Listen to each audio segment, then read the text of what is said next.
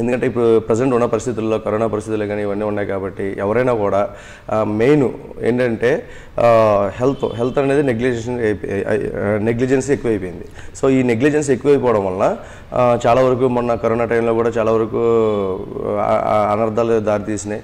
So ఇప్పుడు ఈ నుంచి ఎక్కడి నుంచైనా కూడా ఎవరైనా అందరూ కూడా టైం మాకు టైం లేదు టైం లేదు అనుకోకుండా ఇంకా ఆ టయాన్ని ఏర్పరచుకొని ఏదో ఒకటి ఇలాగ హెల్త్ పరంగా కానీ ఏదైనా ఒక ఫిట్నెస్ సంబంధించినవి ఏదైనా చేసుకొని హెల్త్ని కాపాడుకుంటారు అనే ఉద్దేశంతోనే మేము ఈ ఈ ప్రోగ్రామ్ని కండక్ట్ చేసామండి సో ఆ పర్పస్ మీద చల్లారా గారు అయితే నెంబర్ వన్గా బాగుంటుంది బాగా చెప్తారనే ఉద్దేశంతోనే మీ దగ్గర కన్సల్ట్ చేసాం మీరు కూడా మీ టయాన్ని మాకు కేటాయించి మా ఎంసీ ప్రేక్షకులకి ఒక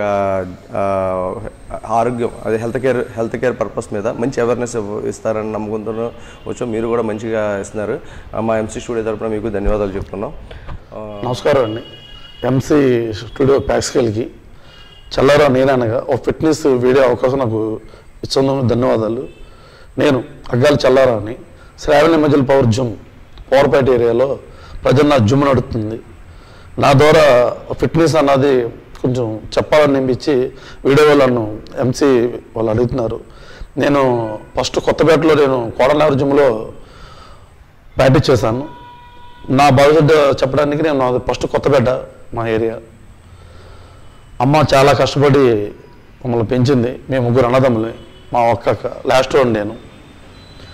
నాన్నగారు సరిగ్గా ఉండేవారు కాదు. రైస్ మిల్లు పని అమ్మ. వారానికి ముప్పై రూపాయలు ఇచ్చేవారు ఆ రోజుల్లో. నేను లాస్ట్ వాడ ఉండడం వల్ల ఇంకా పేదరికాన్ని నేను చూశాను. ఓ పూట ఉంటే పూట గతిలేని స్థితిలో నేను ఉండేవాడిని. అటువంటి నేను ఆటగాడితనంగా ఆడుకొని చేస్తున్న టైంలో మా ఇంట్లో కోర మా ఇంటికాడ కోరనాన్న గారి జిమ్ము తాలింకాన ఆ రోజుల్లో పైల్మాల్గా చేస్తున్నప్పుడు కొంచెం బాడీ బిల్డింగ్ అన్నది కొంచెం అక్కడక్కడ చేస్తున్నవారు. అక్కడ ఆడుకునే నేను ఒకసారి నాకు ఎందుకనో తెలియకుండానే జుమ్ చేయాలని ఇంట్రెస్ట్ వచ్చింది. నేను అప్పుడు రైల్వే దశలో పనిచేస్తున్నా ఒకదేం చెప్పాలంటే ఒక ప్లాట్ఫారంగా పనిచేసుకున్నవాడిని అటువంటి ఆ సమయంలో ఒక రామకృష్ణ అనే నా ఫ్రెండ్ అక్కడే అక్కడే జిమ్లో ఉంటాను కూడా వెళ్తానే భయపడేవాడిని. అటువంటి ఆ సందర్భంలో నేను అని చెప్పి ఆయన ముందు తీసుకెళ్ళడం జరిగింది. ఆ తీసుకెళ్ళడం తీసుకెళ్ళడం నేను ఎక్కడ ఆగల. ప్యాడ్ చేస్తుంటే అందరూ కూడా బాగుంటారు మీరు అనేసి నన్ను అనడంతో నేను ఇంకా ఆ జులాయితనాన్ని వదిలేసా ముఖ్యంగా. అంటే జుమ్ అన్నది ఒక మనిషిని ఎంతలోని చేస్తుందా? ఒక చెడ్డ ఉన్న కూడా ఒక మంచి దారి తీపిస్తుందా అనే ఉదాహరణ నేనే. ఉదాహరణ నేనే. ఎంతో అలగజనగా తిరిగే నేను జుమ్ములో అడుగుపెట్టిన తర్వాత జుమ్మే నా దయం జుమ్ అంటే పిచ్చి. బాడీ బిల్డింగ్ అంటే ఒక మారిపోయింది నాకు. ఇంకా ఆ పేటలో ఉన్న వాళ్ళతో కుర్రలతో కూడా అందరితో మానేశాను నేను. జిమ్ అంటే అంత ఇంట్రెస్ట్గా నాకు నాకు తెలియకుండా నా చేతిలో రూపాయి లేదు. చదువుకోవడం చదువుకోవాలి. ఏం తెలియదు చేయాలి ఇంట్రెస్ట్ తపన. ఏదో తెలియదు ఆ జిమ్లో ఎంటర్ అయిన నేను ఆ జిమ్లో మెయింటైన్ చేస్తూ అందరితో తాటుపాట్లతో ఉండు నలుగురితో ప్రయాణం చేస్తూ ఎన్నో ఆటుపాట్లు తట్టుకుంటూ ఆ జిమ్ మెయింటైన్ రేంజ్కి నేను వచ్చాను. ఆ కోటనగర దయం వల్ల ఆ జిమ్లో మెయింటైన్ చేస్తూ కొంతమంది కుర్రలు నేను నేను ఆల్రెడీ కాంపిటీషన్కి వెళ్ళాను. ఫస్ట్ కాంపిటీషన్ నాది నేను ఫస్ట్ కాంపిటీషన్ నేను దిగినప్పుడు నైన్టీ వన్లో దిగాలి. నైన్టీ వన్లో దిగినప్పుడు మా నాన్నగారు చనిపోయారు. ఆగిపోయాను. తర్వాత నైన్టీ త్రీ రాంబాబు గారని మన ఇప్పుడు నాన్నగారు పక్కన ఉన్నారు పిఏ ఆయన. ఆయన ఫస్ట్ కాంపిటీషన్ పెట్టారు. ఆ కాంపిటీషన్లోకి రజయ్ ఖాన్ ఎత్తు ఒక బాడీ బిల్డర్ కరోనా సంబంధించి చనిపోయారు. చనిపోవడం వల్ల నాకు అదృష్టం ఆ రోజు కాంపిటీషన్ పెట్టడం వల్ల ఒక్కొక్క కాంపిటీషన్ పెట్టడం కూడా చాలా ఇంపార్టెంట్ నిజంగా ఆ రోజు కాంపిటీషన్ పెట్టకుండా ఉంటే నేను దిక్కుంటే ఈ రోజు ఎంత కాదు. అందుకని కాంపిటీషన్ పెట్టడం చాలా ముఖ్యం. కాబట్టి ఆ రోజు నేను చాలా భయపడుతూ ఫస్ట్ టైం కాంపిటీషన్ దిగుతున్నానని చెప్పి వణుకుపోతూ ఆ కాంపిటీషన్ గురించి చాలా ఇదేవి నేను దిగిన తర్వాత నాతో పాటు ఒక పోటీకి వచ్చిన వ్యక్తి ఇంతకుముందు ఫస్ట్ ప్రైజ్ కొట్టాడంట. ఆ ఫస్ట్ ప్రైజ్ కొట్టినప్పుడు నేను ఆ వీటి కేటగిరీలో చాలా భయపడుతుంది ఇక కానీ ఆయన ప్రేమిక నా ప్రేమ చూస్తే చాలా బాగున్నా. ఆ తర్వాత ఆ భయాన్ని పోగొట్టిన తర్వాత ఇప్పుడే నేను భయపడాల. వెనక్కి తిరిగి చూసుకోవాలా. బాడీ బిల్డర్ నేను ఏదైతే సాధించాలనుకున్నానో ఒక బాడీ బిల్డర్గా అవ్వాలనుకున్నా. కానీ ఆ బహుమతుల దయ వల్ల ఈ పేక్షల దయ వల్ల చాలా ఎత్తికి ఎదిగాను. మంచి పేరు తెచ్చుకున్నాను. ఇదంతా కూడా మా వైపు కూడా నాకు ఫుల్ సపోర్ట్గా ఉంది. ఆ రోజుల్లో నాకు పెళ్ళి కాల. నైంటీ త్రీ అప్పటికి నేను మిల్లో పనిచేస్తున్నాను రైల్వే స్టేషన్ నుంచి తిప్పింది మిల్లో పనిచేస్తున్నా ఆ జుమ్మిని అలాగే డెవలప్ చేస్తున్నా. కోరానగర్ జిమ్ అయితే ఇదే కొత్తపేట ఉందా? కొత్తపేటలో జిమ్ డెవలప్ చేస్తున్నా. కుర్రలు అప్పటికే చిన్న చిన్న డిస్టిక్లు అయ్యాయని చాలా కాంపిటీషన్లు చాలా మంది. మన జిల్లాలో కాంపిటీషన్ ఎవరన్నా కండక్ట్ చేసినా కూడా ఆరుగురు ఫస్ట్ పొజిషన్ మనే ఉండి టైటిల్ మనదే ఉండేది. పదివేల మంది తీసుకెళ్తే పదివేల పద్దెనిమిది వేలు పదిహేను మనే ఉండి. చల్లారావు అంటే జిల్లాలో అంత పేరు నేను తెచ్చుకున్నాను. ఎంతో కష్టపడ్డాను. ఎవరి దగ్గర కూడా ఒక రూపాయి ఇప్పుడు నేను తీసుకోవాలా? ధర్మంగా పనిచేశాను ఇంట్లో తర్వాత నైంటీ ఫోర్ మళ్ళీ. నైంటీ త్రీలోనే నేను ఓ స్టేజ్ చేశాను ఈ కాంపిటీషన్ అయిపోయిన తర్వాత కాకినాడలో. ఆ రోజు యాభై మంది అరవై మంది నా కేటగిరీ ఎక్కితే నేను బెస్ట్ ఆఫ్ సిక్స్లో వచ్చి నుంచున్నాను. చాలా మంది అప్పుడు ఈనాడు పేపర్లో చాలా ఇదిగా నా గురించి రాశారు ఆ రోజున. చల్లారో చాలా ఎందుకంటే దగ్గర దగ్గర యాభై మందిని ఫిల్టర్ చేశాను ఫస్ట్ టైం నేను అంత ఎదిగెక్కి నా బాడీ అంత బాగుందో నాకే తెలియదు. యాభై మందిని ఫిల్టర్ చేశాను సరే అప్పుడు నాకు నమ్మకం వచ్చింది. నేను చదువుకోవాలా? ఎడ్యుకేషన్ లేదు. అంటే ఒక పూట పూట్ల తెల్లని వాడికి నాకు చదివే ఉంటుంది. అమ్మ వారానికి ముప్పై రూపాయలు తెచ్చేది. అనేవాళ్ళు ఉన్నాళ్ళు సరిగా పట్టించుకునేవారు కాదు నన్ను. కానీ నాకు బాడీ బిల్డ్ పిచ్చి. ఒక ఒక ఒక ఒక బిగ్గర్లా అవ్వాల్సిన నేను ఎప్పుడైతే రాటు పట్టుకున్నానో. ఎంత కీడాగా నవ్వుతానని నేను ఊహించాల. ఓకే దీనివల్ల నాకు తెలిసింది అంటే ఎటువంటి వ్యక్తి అయినా ఒక జిమ్ అన్నది చేస్తే అది మంచి ఆరోగ్యాన్ని ఇస్తుంది. ఆరోగ్యంతో పాటు ఆ, క్రీడాకారం తయారు చేస్తుంది. అలా సమాజానికి కూడా చాలా ఉపయోగపడుతుంది అట్లా ఆ రోజున నైంటీ ఫోర్ మళ్ళీ నేను నిజానగరం ట్రై చేస్తాను స్టేట్లో మళ్ళీ బెస్ట్ ఆఫ్ ఫైవ్ తర్వాత ఏప్రిల్లో నా మ్యారేజ్ జరిగింది మా మిస్సెస్తో అక్కడ తన సపోర్ట్ తీసుకొని కొంతకాలం జిమ్ వదిలేశాను. తర్వాత జిమ్ వదలకూడదని మళ్ళీ మిల్లో పనిచేస్తూ జుమ్మును మెయిన్ కొత్తపేట జిమ్ మెయింటైన్ చేస్తూ మా మిస్సెస్ సపోర్ట్ కూడా కొంతకాలం నడిచింది. అలాగే బయట కాంపిటీషన్ వాటికి వెళ్ళడం చూడడం అనుభూతి పెరిగింది. మా జిమ్ అలాగే ఉండేది. ఒక అర్థం చిన్న అర్థం పెట్టుకోవడానికి కూడా ఆ, కొత్తపేట జిమ్లో ఉండేది కాదు. కానీ ఆ- మన ఏళ్ళలో జుమ్ అదే. చాలా తాలింకాలను ఉన్నాయి కానీ కానీ ఆ కో- కోటనగర్ అంటే చాలా మంచి పేరు అన్నమాట ఆ రోజుల్లో. నా చిన్న నా ఎదుగుతున్న రోజుల్లో. అటువంటి చిన్న అద్దానికి కూడా చాలా ఇబ్బంది పడేవాళ్ళే. నైన్టీ త్రీలో లాక్డౌన్ లాక్డౌన్ జరిగింది మిల్లు. ఇంకా ఇలా ఉంటే అవదలే అని చెప్పేసి అప్పటికి నాకు సంబంధాలు ఎతకడం స్టార్ట్ చేశారు. నేను కరెక్ట్గా పల్లగొట్లో కొత్త బస్సుల్లో పల్లాపు నాకు అన్ని చిన్న మంచి కూడా అన్ని కాగష్టం పేదకులు పుట్టాను కదా. సోడాలు అమ్మేవాడిని పళ్ళు అమ్మేవాడిని అన్ని వ్యాపారాలు చేశాను చిన్నప్పుడే. నాకు ఫస్ట్ నా చిన్నప్పుడు నన్ను పడింది తొమ్మిది ఏటో తొమ్మిది ఏటో పడేసారు నేను చదువుకోవట్లేదు కదా. ఎగ్జాక్ట్గా నాకు పది పైసలు బేటా ఇచ్చేవారు. నెలకు పది రూపాయలు జీతం ఇచ్చేవారు. నేను ఎప్పటికీ మర్చిపోను. అలాగే ఆ రోజుల్లో చెప్పాలంటే ఈ ప్రాణం ఉండేది కాదు. అక్కడ మనకి కాలం ఉన్నప్పుడు ఏం చేయాలంటే ఒక స్టెప్ కిందకి వేసాను కాళ్ళ కొట్టుకెళ్ళిపోయారు ఓకే. ఆ రోజు వెళ్ళిపోవాలి. ఇక ఏదో సాధించడం గురించి ఉన్నట్టున్నాను. సరే అక్కడికి ఆ రోజుల్లో ఆ పది వేల బెటర్తో నేను మంచి స్టా- స్టార్ట్ చేశాను. లా లాక్డౌన్ అయిన తర్వాత నేను పల్లగొట్టు ఉంటే మా బెదరు ఇలా సంబంధం అని అన్నాడు. నా అప్పటికి నేను అంటే అక్కడ అక్కడ మిల్లో కొద్ది లెంబర్స్ ఉండేమాట. ఏ లెంబరు జే లెంబర్ అవి ఉండేమాట. అన్నీ ఇచ్చేవారు కదా అప్పుడులాగా ఇప్పుడు అప్పుడు మనకి ఏలూరులో ఉండేదల్లా మిల్లు ఒకటి. దానివల్ల ఈ లెంబర్స్ ఎక్కువ ఉండేమాట. నైంటీ వన్లో మిల్లో జాయిన్ అయ్యాను. నైంటీ ఫోర్లో కొద్దిగా అంటే అనుకూలంగా అప్పుడు డెబ్బై రూపాయలు కూలి అక్కడ కూడా. ఏ లెంబర్ సెకండ్ రేట్లో ఉన్నప్పుడు మా అన్న ఎలా అన్నాడు సరే అన్న అన్నాడు. సరే సంబంధం కుదుర్చుకున్నాను. కుదుర్చుకున్న తర్వాత మ్యారేజ్ చేస్తామంటే అలా కాదు నాకు కొద్దిగా నాకు మిల్లో ఒక జీతం వచ్చేది పడేది ఉంది. అంటే నేను ఏడాది పాటు తమ్మలు ముచ్చుకొని కూడా ఆగిపోయాను తర్వాత మళ్ళీ నైంటీ ఫోర్లో మిల్లు తీయడం జరిగింది. పెళ్ళికి ముందు నేను మళ్ళీ విజయనగరం కాంపిటీషన్ స్టేట్ ఆడా స్టేట్లో మళ్ళీ బెస్ట్ ఆఫ్ ఫైవ్ దాకా వెళ్ళా. బెస్ట్ ఆఫ్ ఫైవ్ ఉన్నా. వచ్చిన తర్వాత మ్యారేజ్ చేసుకున్నా. అదే కోటనగర్ జిమ్లోనే ఇంకా నేను కొన్నాళ్ళు ప్రాక్టీస్ మానేశాను. మ్యారేజ్ అయిన తర్వాత నా భార్య నాకు ఎప్పుడు కూడా సహకారంతో ఉండేది చెప్పాలంటే తన ఎప్పుడు కూడా ఎవరు ఎవరి బెస్ట్ నాకు చెప్పాలంటే ఆవిడ నాకు దేవత. సో మీ యొక్క సక్సెస్ ఏంటి వెనక ఆవిడ ఉందని చెప్పొచ్చా? డెఫినెట్గా హండ్రెడ్ పర్సెంట్ హండ్రెడ్ పర్సెంట్ సమస్య. ఓకే ఆ తర్వాత వందకి వెయ్యి సేవ నేను చెప్తా. Okay. So before before life marriage before life ఎలా ఉండేది ఆఫ్టర్ లైఫ్ ఎలా ఉండేది? మ్యారేజ్ తర్వాత నా భార్య నన్ను అర్థం చేసుకోవడం వల్ల నేను హ్యాపీగానే బతికాను. ఉన్నందులో సంతోషం ఉండాలని కోరుకున్నప్పుడు ఆస్తులు సంపాదించాలి. ఇంకో రకం ఇంకో రకం నాకు ఐడియాలు ఉండే కాదు. సరే అలా వెళ్ళిపోతున్న నా జీవితంలో నేను జిమ్ అన్నది సాహసం చేసి పెట్టి పెట్టినట్టే. నిజం చెప్పాలంటే ఆ రోజుల్లో.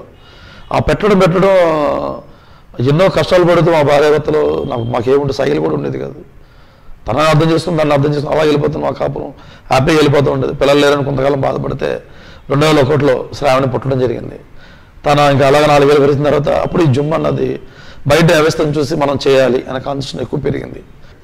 సరే నైన్ ఫోర్లో మ్యారేజ్ జరిగింది. తర్వాత నా జీవితం అలా వెళ్తుండగానే నేను ఇంకా బాడీ బిల్డింగ్ వదిలేద్దాం అనుకున్నా. సరే మ్యారేజ్ ఆ కుర్రోడు వదిలేసా వదిలిన తర్వాత లేదు ఏదో సాధించాలి నేను ఇంకేదో అవ్వాలి అన్న ఇంట్రెస్ట్ పెరిగింది. సరే మళ్ళీ నేను జిమ్లోకి ఎంటర్ అయ్యి స్టూడెంట్ అప్పటిదాకా నేను ఒక స్టూడెంట్గా నేనుండి తర్వాత కోచ్గా అవ్వాలని సిద్ధపడ్డా. నేను బా ప్రాక్టీస్ అన్నది పక్కన పెట్టేసి కుర్రలను తయారు చేయడం స్టార్ట్ చేశా.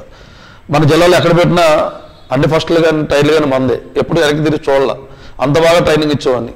ఏ రోజున రూపాయి గురించి ఎప్పుడైనా ఆలోచించాల. కుర్రోళ్ళు భవిష్యత్తు గురించి ఆలోచించేవాడిని. ఆ రోజుల్లో కూడా వాళ్ళ పేట చేతి వాళ్ళు కూడా కరెంట్ ఆఫీసులకు కానీ చిన్న చిన్న హోంగార్డ్ పోస్టులు కానీ ఆ బాడీ బిల్ తరపున ఆ రోజుల్లో కూడా జాబులు వచ్చాయి.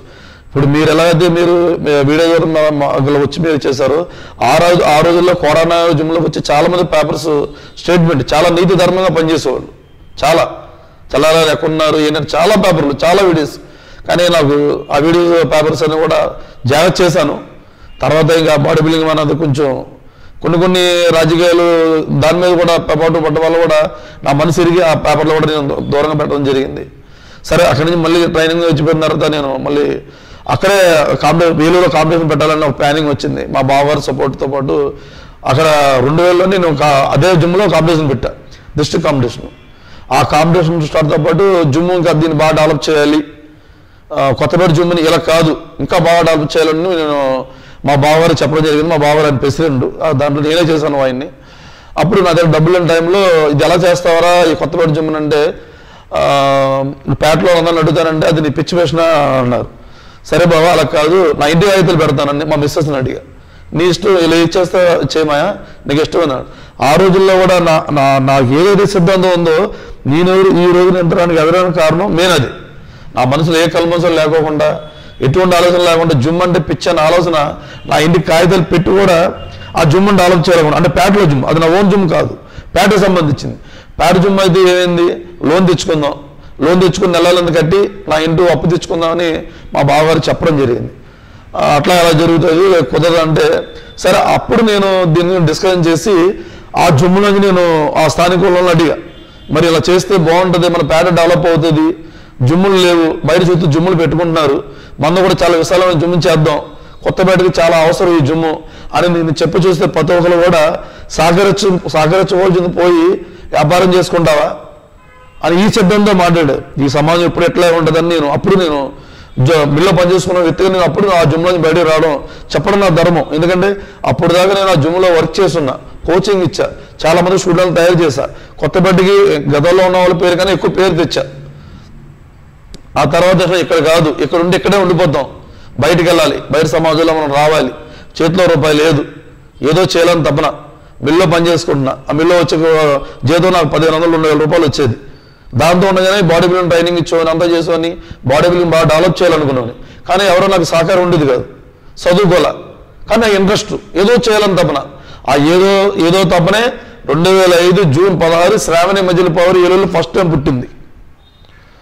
అది ఆలయాలు ఇది కొంచెం సపోర్ట్గా అలా తీసుకొచ్చి అవి ఒకటి ఆ ఫస్ట్ టైం జిమ్ పెట్టుకున్న నేను ఓనర్ గారు ఇంటి నేను ఇంటి ఓనర్ గారు నేను స్థలం తిరిగా. తిరిగినప్పుడు పదిహేను ఇరవై వేలు చెప్తున్నారు. రెండు వేలు చేతగాడి నీకెందుకు అని నన్ను నిన్ను అంతర్గతంలో ప్రశ్న వేసుకున్నా. లేదు అయినా నిద్రపోట్లా పెట్టాలి నిద్రపోవడం అట్లా. బయటకు వస్తా జిమ్ పెట్టాలి. బయట ఊళ్ళో జిమ్లు పెట్టారు. మనం ఎందుకు పెట్టలేం? ఇప్పుడు దేవరం పెట్టారు తనువు పెట్టారు. మన ఏలూరు హెడ్. ఎందుకు పెట్టకూడదన్న తపన నాకు ఎక్కువైపోయింది. పడుకున్న నిద్ర పట్టట్లా. ఒక సామాన్య మానవుని ఇల్లు పని చేసుకున్నవాడిని. నెలకు రెండు వేలు జీతం. భార్య అమ్మ ఉండేది. అప్పటికి నాకు బిడ్డలు కనగల. తర్వాత శ్రావణి మధ్యలో పౌరుతుంటే ఒక ఆడపిల్ల పుట్టింది. అప్పుడు రెండు వేల ఐదులో నేను ఆవిడ పేరు పెట్టి ప్రత్యేకంగా ఉన్న కొద్దిగా డబ్బులు ఏదో పోగేసుకొని పెట్టడం జరిగింది. అప్పుడు కూడా వాండగారు నాకు ఫుల్ సపోర్ట్ చేశారు. పదివేల రూపాయలు చెప్పారు రెండు ఆయన. అలా కాసారని ఇలా కాదంటే మూడు వేల రూపాయలు అంటే నవ్వేరు నన్ను. ఆయన బ్యాంక్ పృథ్వీరాజ్ పక్కనే పెట్టాం. పృథ్వీరాజు గారు ఆయన నవ్వారు. అలా కాదు సార్ అని మళ్ళీ బదిలాడితే ఎన్ని అనే వాదన? నేను పదివేలు చెప్తున్నాను మూడు వేలు అడుగుతాయని అన్నాడు. మరి వెళ్ళిపోయా. వెళ్ళిపోతే మళ్ళీ నాకు నిద్ర పట్టట్లా. వచ్చి సార్ ఇట్లా కాదు సార్ అంటే నీలో తప్పని నచ్చిందయ్యా నీలో ఓర్పు నచ్చింది. నువ్వు పైకి వస్తావా నాకు నచ్చావు.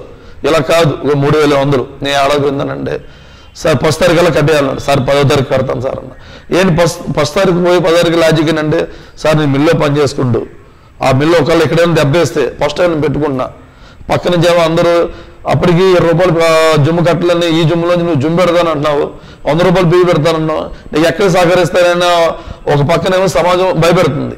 ఓ పక్కన చేయాలన్న తపన పరిగెడుతుంది. అటువంటి సమయంలో ముందుగా అడిగేసి వాన్ సహకరించడం జరిగింది. తర్వాత జుమ్ ఓపెన్ చేశాను. వారం రోజులు ఎవరు రాలా. చాలా బాధపడ్డా. ఏంటి నేను పెట్టింది ఉపనం అయిపోయిందా అనేసి నేను బాధపడ్డ టైంలో ఆ ఎనిమిది రోజు నుంచి స్టార్ట్ అయిన నా ప్రోగ్రాం నేను ఎప్పుడు కాగల అక్కడి నుంచి స్టార్ట్ అయిన నా భవిష్యత్తు ఆరు నెలలోనే నేను చాలా కష్టపడ్డాను. ఫస్ట్ నెలలోనే వంద రూపాయల ఫీజులోని ఏలూరు మొత్తం నా దగ్గర ఉంది. నేను నిజంగా ఏలూరు ప్రజలందరికీ కూడా ధన్యవాదాలు చెప్పుకున్నాను అదే కొత్తపేట జిల్లాలో పెడదాం అనుకున్నాను. అక్కడ స్థానికులు ఒప్పుకోకపోవడంతో శ్రావణ మధ్యలో పవర్ పవర్పేట వంద గారు ఒప్పుకోవడంతో నా జీవితం అక్కడి నుంచి స్టార్ట్ అయింది. ఇప్పుడు మీకు పిల్లలు ఎంతమంది సార్? పాప. పాప ఒక పాప. బాబు. బాబు కూడా నెక్స్ట్ అన్ని వాడు ఇష్టంతోనే నేను అడిగాను. నాన్న నువ్వు చేస్తావంటే నేను చేస్తాను డాడీ అన్నాడు. నా దగ్గర ఎంత ఎగ్జాల్ చెప్పాలంటే ఇప్పుడు ఇప్పుడున్న పరిస్థితుల్లో పైకి మనిషి కనబడినట్టు అప్పుడున్న రూపం నా దగ్గర లేదు. ఎగ్జాల్ అదే పీజీ కూడా కట్టల పరిస్థితులు ఉన్నాను నేను. అది నిజం. మనుషులు కనబడతారు కొంతమంది నిండుగా. అది దేవుడిచ్చే అదృష్టం. మనిషి ఒకటి ఆస్తులు ఉంటాయి కల్మోసం కన్నింగా వారి దగ్గర ముఖంలో కళ ఉండదు. ఎందుకంటే ఎంతసేపు ఎదరోడు ఏమైపోతున్నాడు ఎదరోడు ఆస్తి దోద్దాం ఆలోచనోడు ఇప్పుడు అలా ఎడుతాడు. నాకు అటువంటిది ఏం లేదు సార్. ఒకటే నేను కొట్టుకున్నా భూమి మీద. భూమి మీద ఉన్నంతకాలం ఫిట్నెస్ అందరూ బాగా చేయాలి ఆరోగ్యంగా ఉండాలి. నేను ఫిట్నెస్ జిమ్ ఎప్పుడు నేను ఉన్నంతగా చెప్పి ఉండాలి. నేను చాలా కోల్పోయాను చాలా నష్టపోయా. అంటే ఏడేషన్ ఉంది కానీ ఎవరైతే నేను నమ్మి ప్రేమించానో వాళ్ళందరూ నాకు ఎన్నిపట్లు పెడతారు అది ప్రజలు ఏలు అంతా తెలుసు. స్వయంగా అందులోనే మా స్వయంగా రెండు వేల ఐదులో పెట్టిన తర్వాత మా అక్క మా అమ్మ ఇప్పుడు బాధపడుతుండేది ముగ్గురు అన్నదమ్ములు చెప్పాం కదా. అప్పుడే మా అన్న చనిపోయారు మా పెద్దన్న. అందరూ అందంగా మాత్రం ఉండేవాళ్ళు. అప్పుడు నేను కొద్దిగా పేరింగ్ అలా అవుతాడు మా చిన్నని కూడా నేను కొంచెం హెల్పింగ్గా ఉండేవాడిని. ఇంకా మా అక్కలు కుటుంబం మొత్తం సర్వనాశనం అయిపోయింది. మా అక్కకి ఇద్దరు ఆడపిల్లలు ముగ్గురు మగ పిల్లలు. ఇద్దరు మగ పిల్లలు కవల పిల్లలు రామలక్ష్మణం ఇంకోటి రాంప్రసాద్. ఈ ఏడుగురు భారం నేను తీసుకున్నాను ఒక్కసారి. అంటే నాకు బాగుంది. ఓకే. మా అమ్మ ఇప్పుడు తన గురించి ఆడ ఒక్కన ఆడపిల్ల నేను ఇట్లా చేశాను ఏం చెందలేకపోతున్నా బాధపడుతున్న ఆలోచనలే నాకు ఓకే మా అమ్మ మా అమ్మ మమ్మల్ని పెంచింది కాబట్టి అక్క రుణం కూడా ఈ రకంగా మనం తీర్చుకోవాలని వాళ్ళ ఏడుగురు చనిపోతానికి సిద్ధపడితే మా బావగారు ఎన్నో అప్పులు చేసి ఇంక చచ్చిపోతానికి సిద్ధపడుతున్న వ్యక్తులు నేను వెళ్ళి వాళ్ళని కాపాడి కొంచెం సేవ తీసుకొచ్చి ఇలా కాదని వాళ్ళ అప్పును కూడా నేను సేవ్ చేసుకొని చాలా సిద్ధాంతాల్లో వాళ్ళు ఒక కుటుంబం భుజం వేసుకొని నేను చేసుకోవచ్చు చేసి రావడం జరిగింది. మా మిస్సెస్ కూడా దాంట్లో బాగా సపోర్ట్ మామూలుగా కాదు. మా ఇద్దరు ఫ్యామిలీ ఒకే చేప తెచ్చుకున్న వాళ్ళు, ఐదు కేజీ చేప తెచ్చుకున్న వాళ్ళు. మా ఇంటి పక్కన ఇది వచ్చి బిల్డింగ్లో పెట్టాను? చదివించా చదివించాను పిల్లలందరినీ కూడా. ఇంకా నాకు అప్పుడు మా ధనుష్ పొట్ల మా పిల్ల చిన్న పిల్ల. ఒకసారి రెండు వేలు జతగాడికి యాభై వేలు వస్తే ఏం చేయాలనిపిస్తుంది? సేవ చేయాలనిపిస్తుంది. లేదా ఆ డబ్బుది ఎంజాయ్ చేయాలనిపిస్తుంది. నాకు సేవ చేయాలనిపించింది. రెండు దేవుడు అడిగాడు. నువ్వు నువ్వు ఇంత వస్తుంది కదా ఈ రోజున మనం దాచుకుంటావా? అని. నేను దాచుకుని ఏం చేసుకుంటాను? నాన్న వల్లే దేవుడు నన్ను కాబట్టి చేయాలనుకున్నా. అక్కల మనం చూశాను చేశాను. అలాగా అకాల కుటుంబంలో మా బామ్మర్లు నన్ను అర్థం చేసుకోలేకపోయారు ఆ రెండు వేల పద్నాలుగు ఎలక్షన్లోని నేను అన్నయ్య సపోర్ట్ చేయడం జరిగింది. భుజానికి కూడా నాలుగు వేల జనమందిని జాయిన్ చేశాను. ఆ మహానుభావుడు మన మధ్యలో లేడు వెళ్ళిపోయాడు. ఆయన ఏలూరికి ఒక లేజెండ్ చెప్పాలంటే. అలాగే నేను మా బామర్దుల ద్వారా నేను కొంచెం దెబ్బతిన్నా అది మామూలు దెబ్బ కాదు. నేను ఎంత పునాది వేసుకున్నానో అంత పునాదులు వెళ్ళిపోయింది. తెలియలేదు నాకు. అలాగే ఒక వార్డు సీట్ కార్పొరేటర్ సీట్ ఇప్పించాను దాసుకి. ఆయన గెలిచారు. ఓకే ఇవన్నీ చాలా మందికి మన చెవులు చాలా చేసాం. కానీ నా ఎక్కడ బాగా దెబ్బతిందంటే మా అక్కల పిల్లల వాళ్ళు. ఈ రోజున నేను నా కొడుకు కూడా నేను పీజీ కట్టలేకపోయిన పరిస్థితి నాకు వచ్చిందంటే వాళ్ళ వల్లే. Okay sir. ఇప్పుడు అంటే ఇప్పుడు ఎవరైనా కూడా ఒక అంబిషన్తో ఉండి అది సాధించిన తర్వాత అంటే ఇప్పుడు మీరు ఎలాగా ఈ జిమ్ ఫీల్డ్లో ఉండి దీంట్లో ఒక వన్ ఆఫ్ ది గ్రేట్ పర్సన్గా నేమ్ తీసుకున్నారు ఇప్పుడు నెక్స్ట్ స్టే నెక్స్ట్ లెవెల్లో అంటే మీ అబ్బాయి ఎలాగ మీకు వారసులు ఉన్నారు కాబట్టి ఆయన కూడా ఇదే ఫీల్డ్లో ఉంచి ఇచ్చేస్తారా? లేకపోతే ఇంకేనా డెఫినెట్గా అండి. అంటే నేను ఇది బలవంతం పెట్టను. అంటే ఆ వాడు ఇష్టంతో చేస్తాను. ఇది నాకు నేను ఇష్టపడి చేస్తాను. ఇది నేను బాడీ బిల్డింగ్ అన్నది నా మనసుకి నచ్చి ఎంత జర్నీ అయినా చేయడానికి కూడా ఇప్పటికి సిద్ధమే. సమాజం అన్నది ఇప్పుడు ఒకసారి కుండీలో నడుస్తూ ఉంటుంది ఒకసారి ఉంటుంది. అది అటువంటి నేను ఎప్పుడు భయపడను. నా కొడుకుని అడిగాను నువ్వు చేస్తావు అన్న. నా దగ్గర రూపాయలు లేకపోయినా ఇద్దరు నేను అవ్వలేదా? నారిపోసాడు నీరిపోయాడా అలాగే వాడికి అది రాసి పెట్టుంటే నాకు అందులో హండ్రెడ్ పర్సెంట్ వాడు సపోర్ట్ చేస్తా. నాకున్న విద్యని అది దారిపోస్తా ఆడ తీసుకొని అది నేను చెప్పా. ఎక్కడెక్కడే ఉండొద్దు. మెడల్ కొట్టు. ఆర్మీ జాబ్కి వెళ్ళి ఆర్మీకి వెళ్ళడం ఇష్టమా డాడీ ఓకే. వెళ్తాను. అది వాడికి ఇష్టపడి నేను ఇప్పుడు స్టార్ట్ చేస్తాను వాళ్ళు పది స్టార్ట్ చేస్తాను వాడిది. పద్నాలుగు వందలు వాడిది ఎగ్జాక్ట్గా నేను బాగా చదువుకోమని చెప్పానే కానీ తన మనసు పుట్టింది. బాగా చదువుకోవాలని. అది దేవుడు ఇచ్చిన గాడ్ గిఫ్ట్ నేను ఎప్పుడు కూడా చదువుకోమని చెప్తాను. అది వాళ్ళు పుట్టాలన్న. ఇప్పుడు మనం ప్రాక్టీస్ చేయమన్నా బాబుని. ఆడికి నాలా పిచ్చి పుట్టిన రోజున అది ఎవరో ఆపే ఎవరో ఆపలేరు దాన్ని.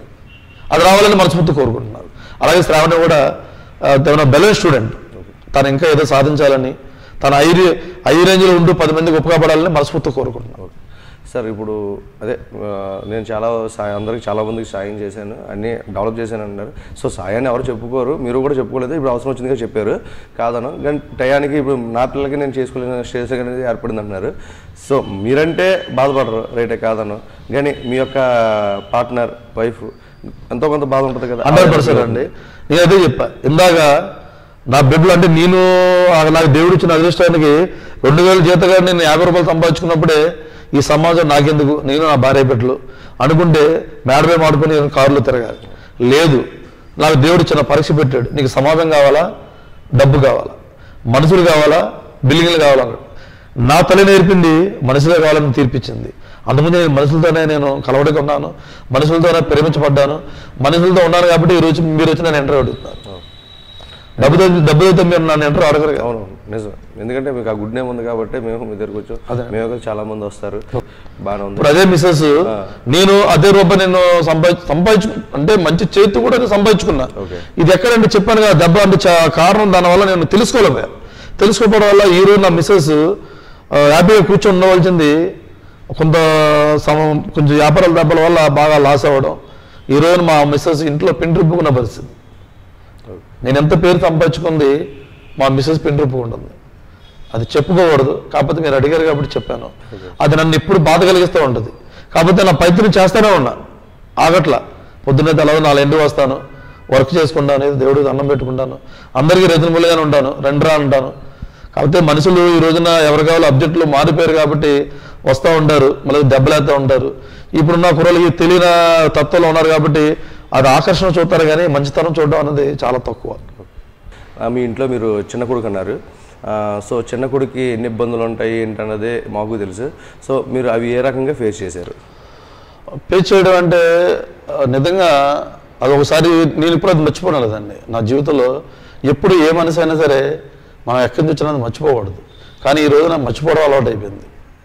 ఎగ్జాక్ట్లీ మనం ఏం చేస్తున్నాం అన్న వాళ్ళు వెంటనే మర్చిపోతున్నారు. అది అక్కడ బాధ అనిపిస్తుంది.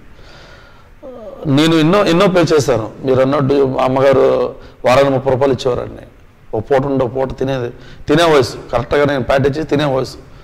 ఇప్పుడు ఇప్పుడు తెలిసినట్టు అప్పుడు మాకు అన్నీ తెలియదు కానీ తినే వయసు. ప్యాటేజ్ బాగా చేసుకోవాలి. మిల్లో డ్యూటీ దిగి కనీసం సైకిల్ కూడా లేవు. కాలు చెప్పులు కూడా లేవు. కాలు చెప్పులు కూడా లేవు.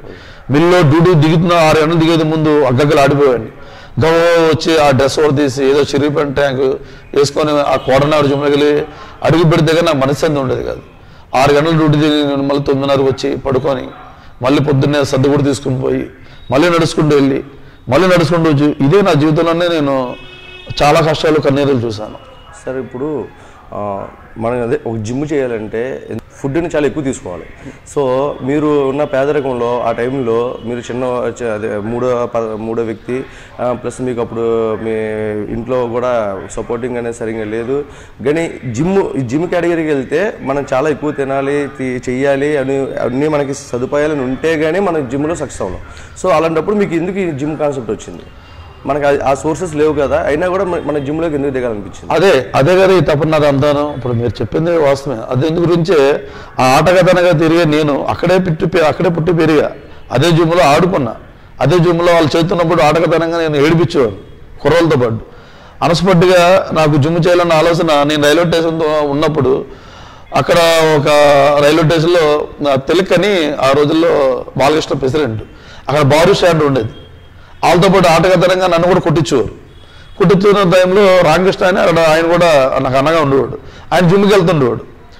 నేను వస్తాను అన్న అంటే నన్ను జిమ్ తీసిపోయాడు తీసుకుపోయిన తర్వాత ఏంటంటే నాకు కొంచెం కొంచెం అలవాటు అయింది అలవాటు అవ్వడం వల్ల ఏంటంటే ఇంకా నాకు ఈ ఆటగాతనం ఈ చిల్లరతనం మొత్తం పోయి ఓన్లీ జిమ్ అంటేనే నాకు ఇంట్రెస్ట్గా కొంచెం యాడ్ చేయడం పిచ్చుకుపోవడం ఇంకా మైండ్ టోటల్ వచ్చిందంటే అల్ట్రాసౌండ్ అన్నప్పుడు ఇంకా అన్నది నేను ఇంకా టోటల్ కట్ చేసుకున్నా. ఓన్లీ నా జిమ్మే నా దయ్యం. అటువంటి సందర్భంలో డైట్ లేకపోయినా కూడా ఆ డైట్తోనే ఇంకా అంటే ఆ రోజుల్లో అంటా ఉంటారు కదా ఇప్పుడంటే కొద్దిగా ఆరోగ్యం పర్పస్ ఫుడ్ లేకుండా ఏడుతున్నారు. ఆ రోజుల్లో గింజన తిన్నా కూడా అంత ఫుడ్ ఉండేది.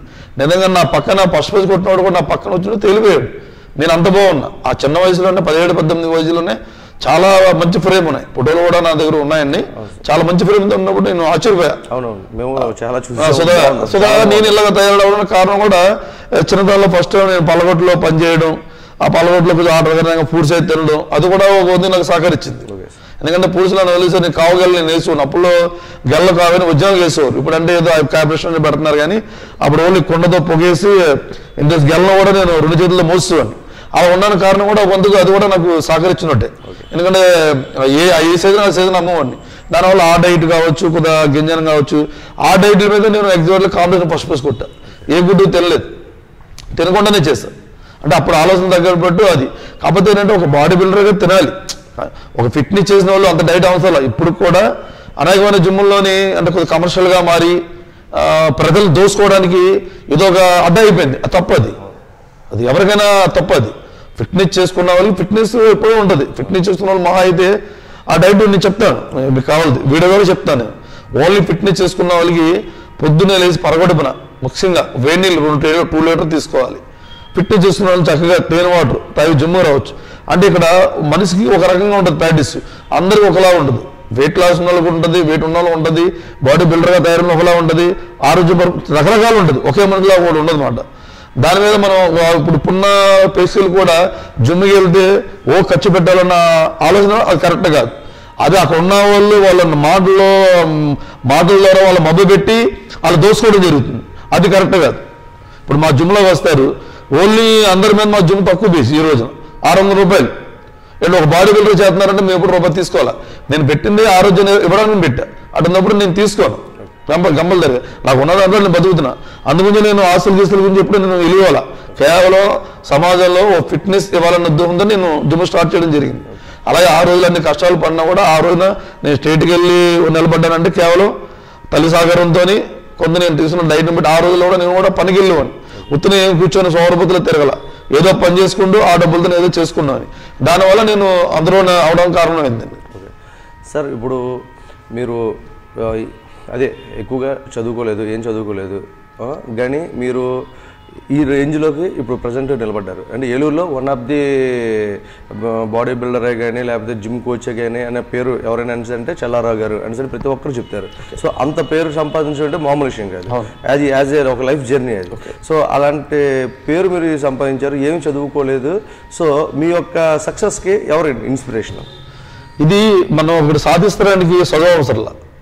సమాజం పట్ల మనం జరిగే సంఘటనలు కానీ మన సమాజం పట్ల చూసే పనులు కానీ మనిషికి కావాల్సిన మెయిన్ జ్ఞానోదయం చదువుకున్న గొప్పది అది. అర్థం చేసుకున్న గుణం ఉండాలి. అదొకటి. మనం ఎక్కడి నుంచి వచ్చామన్నది ఎప్పుడూ మర్చిపోకూడదు. అప్పుడు అదే దారి తీసుకెళ్తుంది. అంత పట్టుదల నాకెందుకు వచ్చిందంటే ఏదో చేయాలని తప్పన నాకు ఎప్పుడు ఉండేది. చేయాలి. నా దగ్గర ఎప్పుడు రూపాయి లేదు.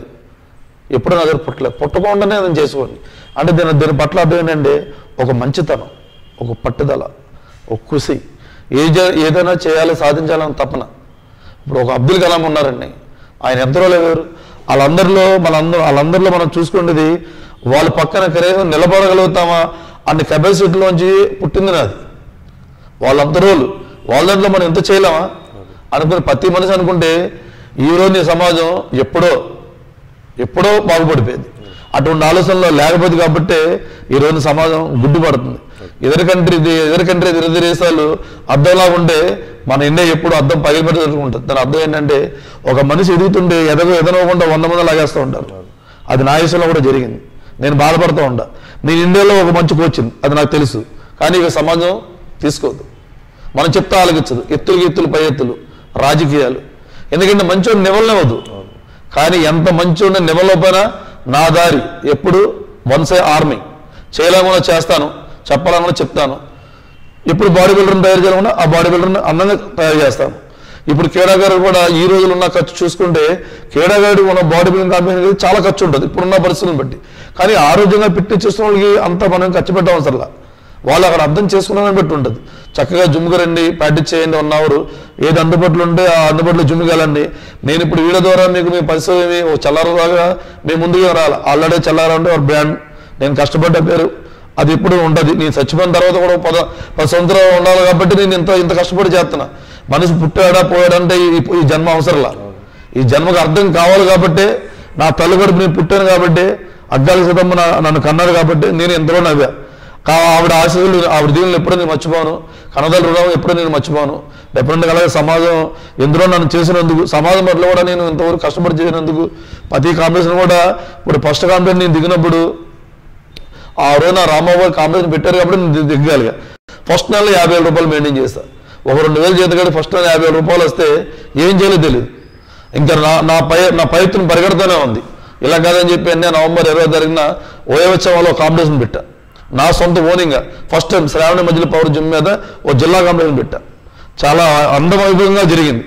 ఆ అందులో సాంగ్ కంపోజ్ చేస్తా. వందే మాత్రం సాంగ్ రెండు నెలలు కష్టపడి. అది మంచి రిజల్ట్ ఇచ్చింది. అప్పుడు ఉషా బాల గారు చీఫ్ గెస్ట్గా వచ్చారు. ఆ ప్రయాణం నాకు స్టార్ట్ అయిన ప్రయాణం నేను వెనక్కి తిరిగి చూడాల. ఎన్నో ఎన్నో అవబోధాలు ఎన్నో దెబ్బలు తిన్నా కూడా ఆ రెండు వేల ఐదు ఐదు నుంచి పెడతానే నా కాంపిటీషన్ ఇప్పటికీ నేను ఆగల. అంతకు మించి నేను ఎదిగి పేరు ఏలూరు గారి నుంచి జిల్లా వైపు జిల్లా నుంచి ఆంధ్రప్రదేశ్కి అంత మంచి పేరు వేసులు తెచ్చుకున్నాను తప్ప చెడ్డన బాడీ బిల్డర్ తెచ్చుకున్నా. కానీ బాడీ బిల్డర్ ఎప్పుడు కూడా ఒక మంచి పాత్ర చేసేవాడిని. అలాగే అసోలో కూడా నాకు మంచి చోటు ఇచ్చింది. అసోలో అసోలో కూడా నాకు ఒక పదవి ఇచ్చింది. వాళ్ళు కూడా నేనంటే చాలా అభిమానంతో ఉండేవారు తర్వాత ఇంకా ఒకటో రెండో ఒకటో ఆ కాంపిటీషన్ తర్వాత ఒకటో రోజు జిల్లా కాంపిటీషన్ కావచ్చు మళ్ళీ మిస్టర్ ఏలూరు కాంపిటీషన్ కావచ్చు జోనల్ కాంపిటీషన్ కావచ్చు అనేకమైన అంటే సంవత్సరం నుంచి సంవత్సరం అలా ప్రతి సంవత్సరం చేస్తారు ఉన్నాను. రెండు వేల ఏడు రెండు వేల ఆరు రెండు వేల ఎనిమిది రెండు వేల తొమ్మిది మా మధ్యలో ఒక గ్యాప్ వస్తే మళ్ళీ అలా స్టేట్ చేస్తాను మళ్ళీ ఇంకో స్టేట్ చేస్తాను మళ్ళీ లాస్ట్ టైం రెండు వేల పదిహేడులో బుజ్జిగారు అనుగ్రహంతో ప్రజల అనుగ్రహంతో ఏళ్ళు ఇచ్చిన స్పాన్సర్ వైద్తో పద్నాలుగు లక్షలు పెట్టి ఏపీలోని హైయెస్ట్ కాంపిటీషన్ పెట్టా. అందులో నా డబ్బులు నేను నా దగ్గర అంత డబ్బులు లేకపోయినా కూడా మా మెసేజ్ సీట్లు రెండు రెండు సీట్లు పాడుకొని లక్ష డెబ్బై వేలు ఖర్చు పెట్టా. అలాగే నా పన్ను మల్లిబద్దం పల్లిబద్దం చూడండి గారు ఆయన కూడా లక్ష యాభై వేలు ఖర్చు పెట్టడం జరిగింది. అలాగే ఏలూరులో ఎంతో మంది ప్రజలందరూ కూడా స్పాన్సర్స్ అందరూ ఇవ్వాల్సిన కూడా ఇస్తే దగ్గర దగ్గర లక్ష రూపాయలు ఇచ్చారు. ఎమ్మెల్యే గారు అప్పుడు మాజీ మాజీ ఎమ్మెల్యే గారు. అలా పద్నాలుగు లక్షలు పెట్టి మనం రెండు వేల పదిహేడులో స్టేడియంలో అంత గ్రాండ్గా చేస్తాం అదే కాదు నా భవిష్యత్తులో కూడా ఇంకా నాకు చాలా ఆలోచనలు ఉన్నాయి. ఇంకా నేషనల్ చేయాలి ఏలూరులో. ఒక మనిషి అనుకుంటే ఏదైనా సాధించవచ్చు అన్న ఈ భీమ్ హండ్రెడ్ పర్సెంట్. ఎందుకంటే మీకు ఈ మాటలు మీకు చెప్తున్నానంటే శ్రావణ మధ్యలో పౌద్యము ఎందుకు మీకు చెప్తుందంటే నేను ఒక విధంగా ఒక ఒకప్పుడు బెగ్గర్ నుండి ఈ రోజు స్పోర్ట్స్ మ్యాన్ అంటే చదువుకోవాలి. దానివల్ల ఎక్సర్సైజ్ అనేది చాలా ముఖ్యం. ఈ రోజుల్లో ఎక్సర్సైజ్ చేయాలి. ప్రతి జిమ్కి వెళ్ళి చేసుకోవాలి. ఆరోగ్యంగా ఉండాలి. ఎంత సంపాదించినా ఆరోగ్యం మహాభాగ్యం అని పెద్దలు చెప్పారు. అది ఎప్పుడు మరవకూడదని చెప్పేసి ఈ వీడియో ద్వారా నేను ఇచ్చే ఒక మెసేజ్ మీరు అంటే ప్రజెంట్ మీ ఏజ్ ఎంత సార్? నలభై ఏడు. sir. Okay. Me date of birth sir? Seventy four. July ఒకటి సో సెవెంటీ ఫోర్ నుంచి ఇప్పటికి ఉన్న ఈ జర్నీలో మీ యొక్క లైఫ్ స్టైల్ అంటే మీరు ఓవరాల్గా మీకు ఏమనిపించింది ఏంటి? పుట్టడం వరం ఆ అందం కూడా దేవుడు వచ్చిన అదృష్టం. దాన్ని కాపాడుకుంటూ ఇంత మధ్యన సమాజంలో సర్వీస్ చేసినందుకు నేను చాలా ధన్యుడిని అదృష్టవంతుడిని ఎందుకంటే ఇంత నా ఇరవై ఇరవై సంవత్సరాల్లో నాకు అయిపోయింది. ఒకవేళ నేను చనిపోవడం ఉంటే కొంతకాలం ప్రజల గుండెల్లో ఉంటాను చూసారా? అది నాకు చాలా ఆనందం అని ఇష్టం అది. ఏ మనిషైనా కోరుకోవాల్సింది అదే. ప్రతి మానవుల్లో కూడా ఇది ఉండాలని ఉండాలని కోరుకుంటున్నా మనస్ఫూర్తిగా. ఎందుకంటే మన భూమి మీదకి ఎందుకు వస్తున్నామో తెలియకుండా ఎందుకు పో ఎందుకు పోతున్నామో తెలియకపోతే అది వ్యర్థం. ఎంత నేను సాధిస్తాను కాబట్టి ఇంత చేశాను కాబట్టి డబ్బులు సంపాదనలు వస్తాయి పోతాయి.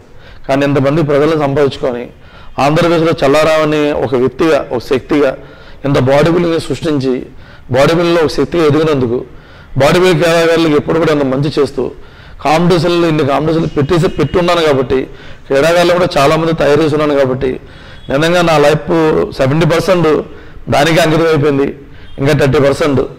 దానికి అంకితం చేస్తాను ఉన్నంతకాలం. ఎందుకంటే బాడీ బిల్డర్తో పాటు ఆరోగ్యంగా ఉండాలని ఇప్పుడున్న ఫిట్నెస్లో అందరికీ కావాలని దాంట్లో ఉన్న ఆనందం సంతోషం దాంట్లోనే ఉంది. ఓకే. చూసారా ఇప్పటికీ కూడా ఉన్న సెవెంటీ పర్సెంట్ క్రీడా దీనికి కేటాయించండి ఇంకో థర్టీ పర్సెంట్ నా ఫ్యామిలీ కేటాయించుకుంటారని మాట రావట్లా. ఇప్పటికీ కూడా మళ్ళీ దీనికే ఆ థర్టీ పర్సెంట్ కూడా ఈ క్రీడారంగానికే పెడతారంటారు సో ఓకే. మీ యొక్క ఔదర్య మీ- యొక్క ఉదార స్వభావం అనేది చాలా బాగుంది. అంతే. ఎవరైనా కూడా ఏదైనా ప్రజలు సేవ చేయాలనుకున్న వాళ్ళు ఎప్పుడు కూడా ఇలాగే ఆలోచిస్తుంటారు. సో అందులో కూడా మీరు కూడా ఒకరు ఓకే. ఇక సో ఫైనల్గా ఓకే. ఇప్పుడు సెటరేట్ చేయలేదన్న ఒక పిల్లల్ని సెటరేట్ అవ్వలేదన్న ఒక ఫీలింగ్ తప్ప మీలో ఇంకా ఇంకేం కనబట్లేదు ఓకే. అది బాగానే ఉంది. ఇంకా మీరు ఏమైనా చెప్పాలనుకుంటున్నారా? మీ లైఫ్ గురించి చెప్పాలనుకుంటున్నా అందరూ ఒక దగ్గర నుంచి వచ్చాం. ఒక మనిషి అనే పేరు పెట్టుకొని అందరం అవతలికి వెళ్ళిపోతాం. దయించి నమ్మే వాళ్ళు మోసం చేయకండి. పై తీసు పై తీసొచ్చే వాళ్ళని ఎన్నుపడి పడకండి. అది బాగా ఆ పడ్డవాడికి తెలుస్తుంది. నేను కోరుకున్నది ఇదే. ఇంకా భవిష్యత్తులో కూడా ఇటువంటి కరోనాలు ఇటు ఎన్ని ఎన్నో వస్తూ ఉంటాయి. కరోనాలకి భయపడి ఈ రోజున పారిపోయే పారిపోయే కన్నా ఈ రోజున కరోనా కరోనా వల్ల చిక్కుపోయే మనం భార్య భద్రకి బిడ్డ బిడ్డ ఉండట్లా బిడ్డకి భార్య భద్రుడు ఉన్నట్ల భర్తకి భార్య ఉంట్ల భర్త భార్య లేకుండా పోతున్నారు. ఇవన్నీ కూడా కేవలం మనకి టైం లేదు. మనకి టైం లేదు. టైం లేదు టైం లేదు వెళ్ళకుండా మనం వెళ్ళిపోతున్నాం. ఇది కాదు జర్నీ. కాస్త ప్రేమ రాగాలు కాస్త ప్రేమగా ఉండడం. ఈ ఒక చిన్న ప్రపంచంలోని మన ప్రకృతిని కాపాడుకుంటూ ఇటువంటి కరోనాలు వచ్చినా కూడా మేము ఉన్నామని కరోనా భయపెట్టి తట్టుకున్నాం తప్ప కరోనా వచ్చినప్పుడేమో దేవుడు దండం పెట్టడం కరోనా లేనప్పుడేమో కాలు ఎగరడం ఇటువంటివి కాకుండా అంతా అందరూ కూడా ఒక ఎక్సైజ్ లాంటిది. ఇదివరకు మన పూర్వభవనం చూసుకుంటే పెద్దలు చాలా మట్టికి లేడీస్ కావచ్చు జెంట్స్ కావచ్చు చాలా ఎక్సర్సైజ్ చేసేవారు. ఆ రోజుల్లో ఈ రోజున అంతా అంతా కూడా కంఫర్ట్ సిస్టమ్ అయిపోయింది. ఓ మనిషి కష్టపడడం లేదు. ఓ మనిషి కనీసం ఒక బట్ట ఉతికేది లేదు. దీనివల్ల ఏమవుతుందంటే బాడీకి ఎక్సర్సైజ్ లేక ఇటువంటి కరోనాలో మన పెట్రోల్ రాలిపోయిన రాలిపోయారు.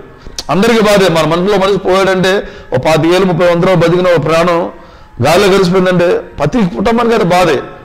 అందుగురించి నేను చెప్పేది శ్రావణ మధ్య పౌరు జుమ్ ద్వారా చెప్పేది ఏంటంటే జుమ్ములకి వెళ్ళండి మీ అవగాహన పెంచుకోండి కమ్ముల దగ్గర ఫిట్నెస్ చేయండి మీరు బాడీ బిల్డర్లు అవ్వద్దు. బాడీ బిల్డర్ అవ్వాలి బాడీ బిల్డర్లు అవ్వండి. కనీసం ఉన్న నాలుగులో ప్రాణం ఎప్పుడైనా పోద్ది గాల్లో కలిసిపోద్ది కనీసం కాలు చేయి ఒంగకుండా మీ ఆరోగ్యాన్ని కాపాడుకోండి. జుమ్ములకి వెళ్ళండి గ్రౌండ్లకి వెళ్ళండి. అనవసరమైన గంజాయి ఇటువంటి సిగరెట్లకి మందులకి అలవాటు పడి జీవితం నాశనం చేసుకోవద్దు. ఉన్న నాలుగు రోజులు అందమైన జీవితం ఇది. అందమైన జీవితాన్ని అందంగానే ఉంచండి. అందమైన ప్రకృతిని అందమైన ప్రకృతిగానే ఉంచండి. దయించి ప్రకృతి నాశనం చేసుకుని ఆ ప్రకృతిలో మనం బలైపోయి చచ్చిపోతున్నాం తప్ప సామాన్య మానవుడు ఆ మానవుడికి ఏదో కొద్దిగా కావాలని ఆశపడతాడు. ఆ ఆశలో కొద్దిగా ఆ ప్రభుత్వం కూడా దీంట్లో సహకరించాలని ప్రతి ఒక్కరు కూడా కొంచెం నేడుతో ఆశించాలని మనస్ఫూర్తి కోరుకుని చెల్లాలి